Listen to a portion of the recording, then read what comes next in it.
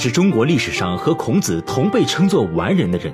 曾国藩把他当做自己的精神导师，他就是心学的开创者王阳明。日本在王阳明心学的影响下，发动了举世皆惊的明治维新，摇身一变成为了世界强国。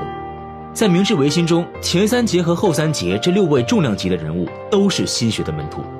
现代历史中曾经把俄国主力舰队摁在地上摩擦的日本军神东乡平八郎，他的身上一直带着一块腰牌，上面写着七个字：“一生俯首拜阳明。”当代被称为经营之神的稻盛和夫，两次创业都将公司带进世界五百强。其中的秘诀就在《知行合一》这本书中。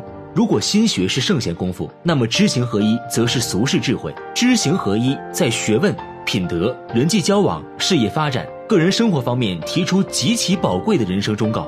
比如在现实中，我们要定期对自己进行反省，能让我们及时发现自身上的毛病，然后有意识的用行动去克服。古人曾言：“欲成大事者，必读王阳明。”